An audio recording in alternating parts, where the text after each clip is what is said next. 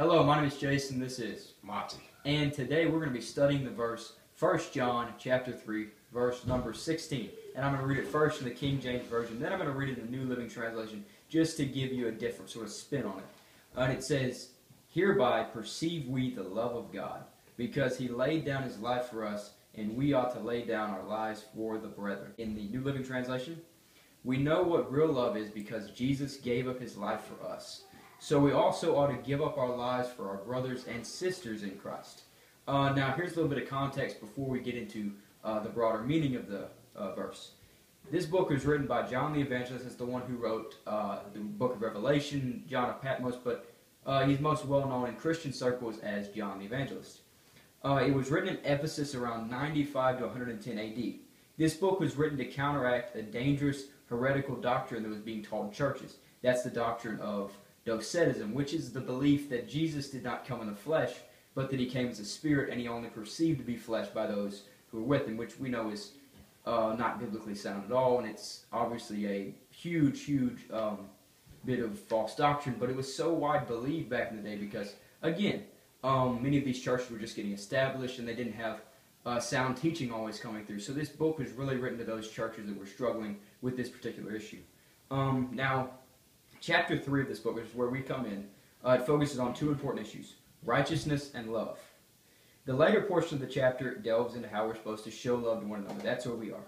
It, we- we're supposed to love one another as Christ first loved us, and that's how people will know that we are of God. They won't know. It's in fact it says that. Uh, don't let people know you just because you say you're a Christian, but show that you're a Christian and how you love your brother and sister, and that's how people will know that you're really of God and not of Satan. And so, I, what do you think about this verse? Well, uh, uh, the context is very important to Yes. uh, most most of the uh, the chapter and the rest of the book, of course. But this verse, it, it kind of sticks out very much because it's talking about God's love, Mhm. and despite that you read this in every part of the Bible, he he read uh, First John three sixteen. It goes on uh, three sixteen. It says, "We know what real love is because Jesus gave up His life for us. So we also ought to give up our lives for our brothers and sisters." Verse 17 says, If someone has enough money to live well and sees a brother or sister in need, but shows no compassion, how can God's love be with that person? Which Now we is monumentally interesting. Yes. We read verse 16, and it, it's a very feel good scripture. It's Oh, talking about very. God's love and how, uh, if you read But uh, John at the same time. 3.16, we, we could all quote. Yeah. It says, uh, For God so loved the world that he gave his only begotten Son. And it, it says something very close to those lines. Then it says to us Christians, like, if you if you're wealthy, if you have even a little bit, and you see somebody else who has nothing, but you don't help that person out, Mhm. then You don't really have the love of Christ. you're not showing the love of Christ. And it's all it all leads back and we point to these two sermons a lot, sermon number 1 and sermon number 50. Mm-hmm. If you look back at uh, either of those, we talk about how we have to be the light of the world and how we show these these these uh Acts. yes And one of the best ways that you can do that, and I apologize for cutting you off, one of the best ways that you can do that is by showing love, not just by talking about being a Christian, not just by quoting Bible verses in people's face, but by showing real love, because that's the only way you're ever going to change a real heart. and I am a I am a first-hand witness of seeing things like this happen, and it, it's crazy. I know people who probably will would not be in the church today if it had not been for the love that the church family showed to them, even when they weren't in the church. Mhm.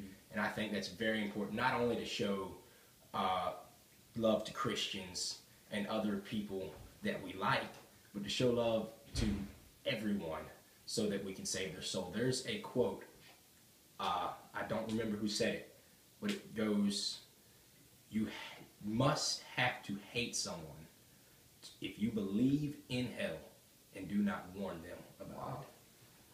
Powerful. Um, and this is this verse really, really uh, set within me because, of course, you know it's all over current event news. If you follow any sort of news media, which I would encourage you to follow this story particularly because it is very important, uh, and is the Syrian refugee crisis. And now, please, do you feel free to disagree with the comment section in any way, shape, or form. Um, but this really, really hit me uh, when reading this verse, and I personally felt almost um, horrible about um, my actions as a Christian towards these people. And I think it is ridiculous for us as Christians to live in our first world with our first world problems, drive our wonderful cars, live in our wonderful houses, and not worry about the events that are going on in Syria that are forcing all of these families and people to find refuge in other countries. And it is ridiculous for us as a country to only accept a few thousand of them when they are dying and whenever they need our help and they need to know God's love. So I encourage all of you, if you can, I believe uh, Google right now is um, taking donations. So I encourage all of you, if you have uh, the ability to give money, please do it because it is such an important event. And this is a great way to show God's love to not only these people, but to the rest of the world. And so I do encourage you, if you disagree with me, that's great. But you know what? We really need to do this, and we need to show the love of God to those even in difficult situations like this. And, and if I may say, just a, another accentuating point about this verse, verse 17. Uh, I've read a lot about uh, like gangs, and when we think about gangs, we think of the gang violence, Mm. the, the bad deals that go down.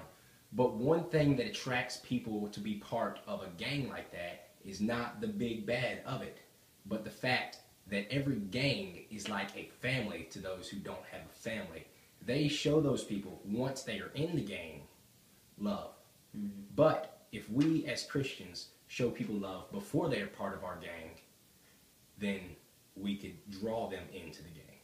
Yes, uh, so love is monumentally important to us as Christians, and I think it's something that we need to show to those people that maybe we don't agree with, or maybe the people that we don't think deserve it, because that's what Jesus wanted, and that's what He fought, lived, and died for. And so, uh, thank you guys so much for watching. I'm sorry it went a little long today. We just kind of got on a little rant about love there, but I don't apologize for saying what we had to say. It was very important. Uh, so be sure to tell us what you thought of the video in the comment section down below. Uh, while you're there, be sure to subscribe, like this video if you really enjoyed it. And with all that said and done, my name is Jason. He is. Montie, We're signing off.